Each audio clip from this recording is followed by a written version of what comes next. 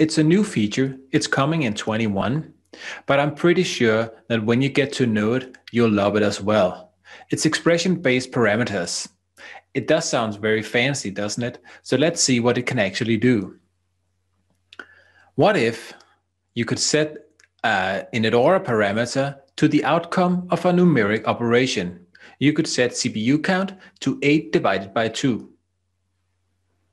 Okay, it doesn't sound that cool. I could just as well have written 4. But imagine that I could set a parameter to the same value as another parameter.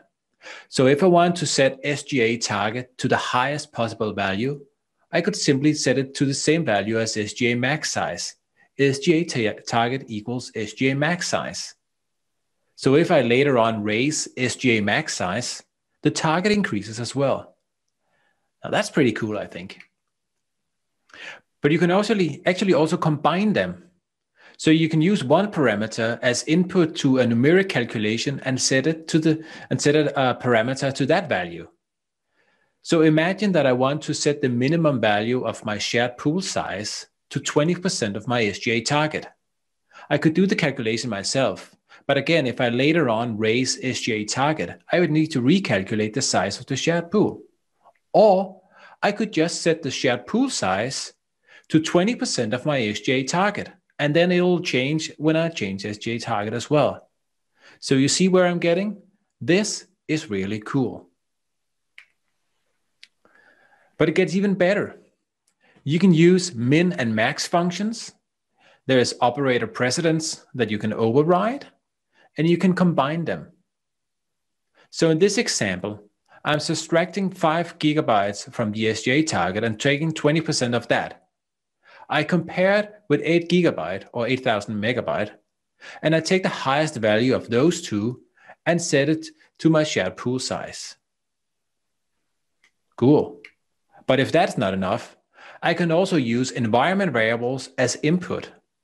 So for instance, on Windows, there's an, an environment variable called number of processors, which obviously it gives you the number of processors in your system. So if you want to do instance caging and prevent one of your databases from using all of all the CPUs and a host, you could set it to the environment variables that has the number of processors divided by two. So if you later on move the database to a more powerful uh, host, that number will be recalculated and it'll have a, a new value. You can use it for alter system commands as well as alter session commands. It goes into your SP file, but you can even write it into your P file. So you can write it directly in, in your P file and start the database using that. This is really cool. Let me show you a demo where we can see how it's used in effect. Number of processors is set to 8 on this system. It's an environment variable, and I use it as input for a numeric operation, and I calculate my CPU count to 4. Also, I can see that SGA target is a little lower than SGA max size. So I set SGA target to the value of SGA max size. Now SGA max uh, size, SGA target has been raised.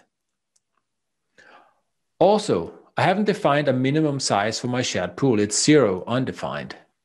So I set it to 20% of my SGA target, and now it's set to six gigabytes.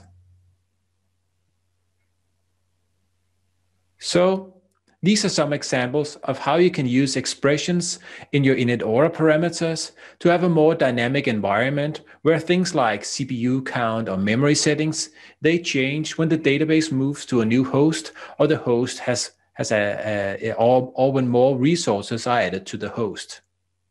I know this is not a 10x performance improvement, but this is really something that can make your day-to-day -day life a lot easier as a DBA.